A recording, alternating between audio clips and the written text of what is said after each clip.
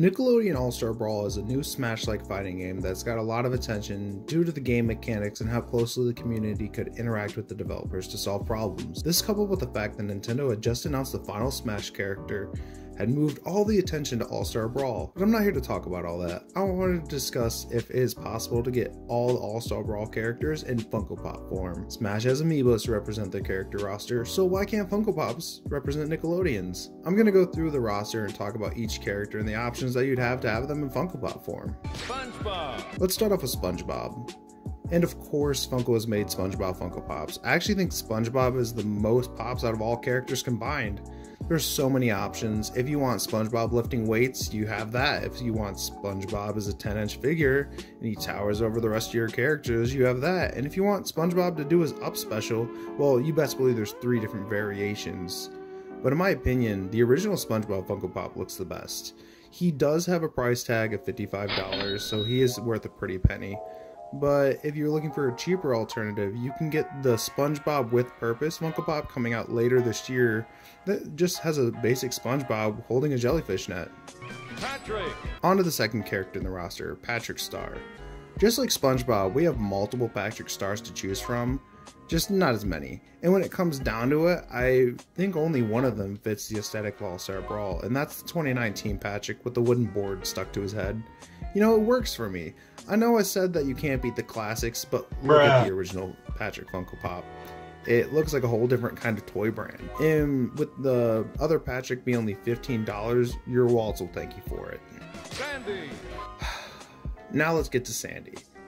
If you were thinking that you could settle with the cheapest alternative Funko Pops to make your own roster, here's where I'm gonna have to break some bad news to you. Funko has only released one Sandy Cheek Funko Pop ever, and it was with the original SpongeBob wave in 2013, and her price has skyrocketed. She's just shy of $300 at 270 Now when Funko releases pops like this, the most popular characters are normally the cheapest, and the characters people don't really pick up normally raise in price to this extent. Because let's face it, unless you were buying the entire wave of the SpongeBob Funkos, you probably only got a SpongeBob, a Patrick, maybe a Squidward, and that's why she's so expensive. But SpongeBob is a very popular franchise, and I could see them making a Sandy in the future.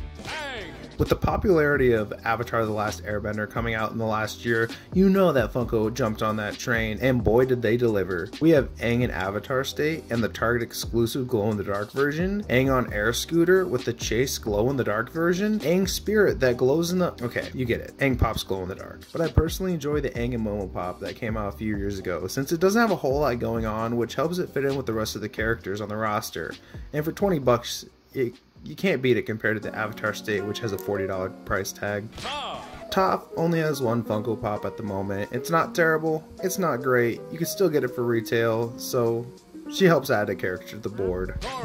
As for Korra, we have two options. Well, technically three. We have the Hot Topic Korra that came out last year that has a chase variant, which is, of course, a glow in the dark. But I really like the Korra that came out a few years ago with the elements flowing behind her. Plus, she's just above retail at $18, so you can get her for a pretty good price. Zim. So, Zim. Zim is definitely a super popular character in pop culture, and of course has many Funko Pops made of him, but I don't think any of them look that great. Some characters just don't transfer over very well to pop form, and I think that Zim is one of those styles. There's just something about the square head that I don't like. It doesn't sit right with me. Here are the prices and the pops. If I had to choose one, the winking one with the mini moose is probably the one I'd go with. But any of them could work since none of them work, if that makes any sense. Lincoln Loud. Lucy Loud. Now to the first character without a Funko Pop. Or should I say characters?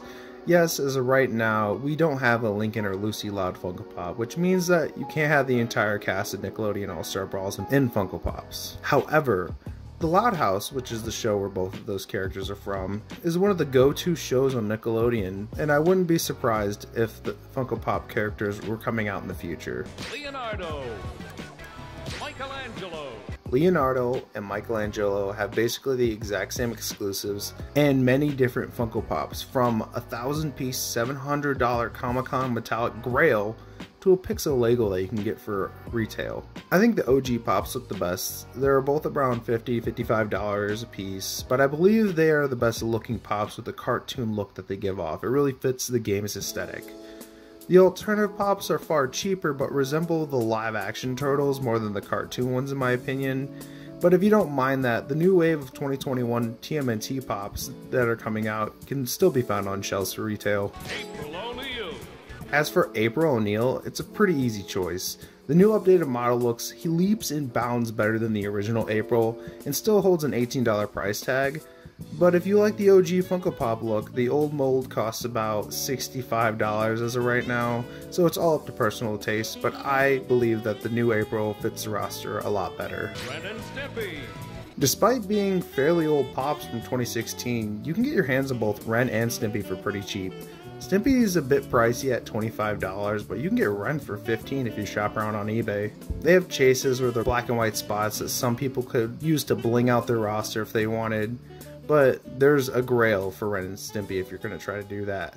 The Happy Happy Joy Joy 2 pack is about $150 right now, so that would be what they are going for. But in my opinion, the commons are just fine. Powdered Toast Man. So if I would have made this list a few months ago, Powdered Toast Man would have been another pop that you couldn't have on the roster. But thankfully, coming in the near future to GameStop, PTM is coming out, so make sure to keep an eye out to get them on retail. Y'all want your CatDog regular or flocked? The regular's $20, the flocked is 40 more. Regular's fine, but flock should never be considered if you're attempting to make the roster out of box. Fingerprint indentations on your pops will make you sad for paying extra. Reptar. As far as Reptar goes, the chase is purple, there's one eating some food, and there's a glow in the dark one. But I would recommend the common Reptar and he's only $10, so you can't beat that price. Nigel Thornberry. Nigel Thornberry is one of the best deals so far. Even though he's only got one pop made of him, he sits below retail at $9, and I think that deal is smashing. Oh, brother, this guy stinks! Helga. It looks like Nigel isn't the only one, though. Following its trend, Helga is the same treatment, one pop, and below retail price at about $9. Danny Phantom. Well, now that we saved some money on those bargain bin characters, I need to talk about Danny Phantom. Danny Phantom is in the same boat as Nigel and Helga, that he's only had one pop made of him. However, the pop itself is a Comic Con exclusive from last year, sitting around $55. Now, Danny Phantom is a popular Nickelodeon show and could easily have a whole line come out tomorrow, drop the price of the exclusive.